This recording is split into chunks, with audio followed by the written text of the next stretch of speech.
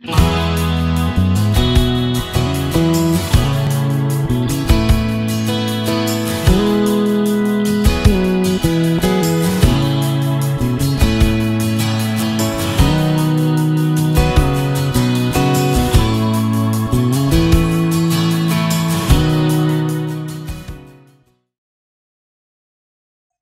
Stephen Masalva from Valley Church of Christ, and I'm so humbled to be here with you today. And we want to come to speak of overcoming fear.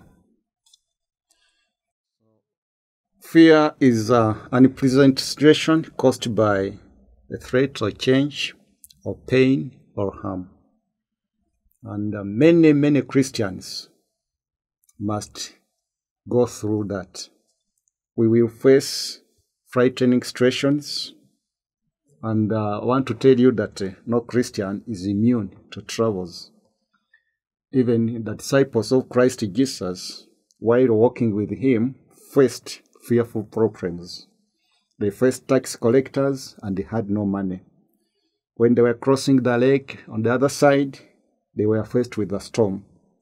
They were walking uh, during the time of uh, Exodus, they were walking in the wilderness and uh, they had no food, they faced hostilities. Then that is fear. Human resources were insufficient. Also, fear of strikes when our resources are depleted and uh, when they are exhausted, we feel like the bank account is exhausted, our schemes are exhausted, all that is fear. Forget, forgetting that uh, Christians uh, would know that the only resource would be Christ. And when we say, do not be dismayed, these are confusing situations, not understanding our current uh, circumstances or situations. Things will happen for no apparent reason. Getting fired from the job or from your work, suddenly getting sick, getting an accident, losing the loved one, all that brings fear in a person. The more we try to reason some of these things out, the more we get more confused.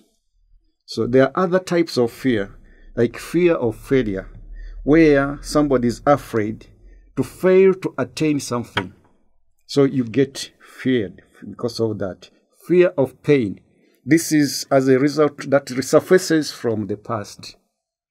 And uh, something like you had lost somebody, it happens like that. Fear of now. You even fear to make a decision.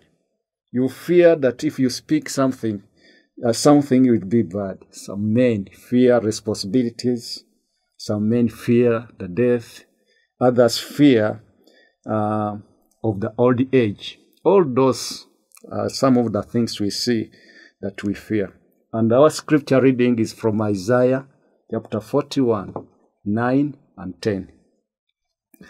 Uh, God is saying, I took you from the ends of the earth.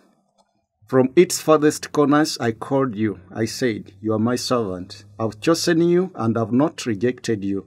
So do not fear, for I'm with you. Do not be dismayed, for I am your God. I will strengthen you and help you. I will uphold you with my gracious right hand. This is the promise of the Lord. And uh, our next step is uh, as a Christian, how can we overcome fear? And then I'm saying, God is present in your life. He has noticed every pain, every sorrow, every moment of rejection that you're experiencing and is pouring a blessing into your life. So his love is unconditional to you. You may feel completely neglected and empty, but God is paying attention to every situation you are going through, and so that fear will go off. Jesus knows better than anyone else who you are. The good and the bad, He knows. He knows because He took your place.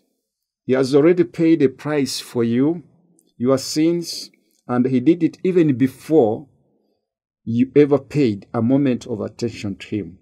So, stumbling over how to go through and maneuvering over life is useless. Know that uh, in such a situation, He understands better than another person.